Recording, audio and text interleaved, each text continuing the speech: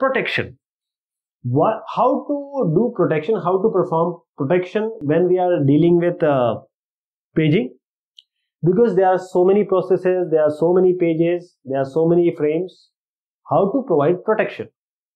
We can have valid, invalid bit. How? The memory protection in the case of paging is achieved by protection bits for each frame. So we are talking about the, we need memory protection in our main, our primary memory, that is main memory, where we have divided it into frames. And these, these bits are kept in this page table. So we are have a protection bits. These protection bit will be directly kept in the page table by itself. So one bit can define a page to be read write or read only. We'll just see about that every reference to memory now goes through the page table. We know that it has to go to the through the page table. Why not to keep the these valid invalid bit in the page table itself? So to find the correct frame number, it has to pass through page table. We will keep this in the page table. So now here we can provide the protection. How to provide the protection?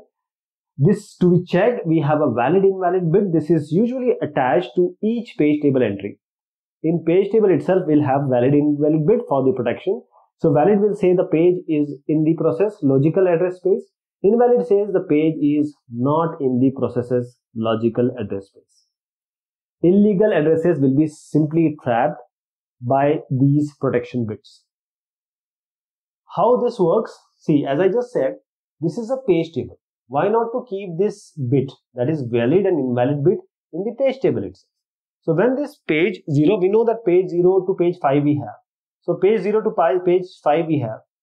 How about this 6 and 7? They are not there. There is no page. There is no page 6. There is no page 7. So these are actually invalid bits. Okay. So only these will be addressed in the frames. These will not be addressed. There will be a trap if you try to access this. This is how protection is done.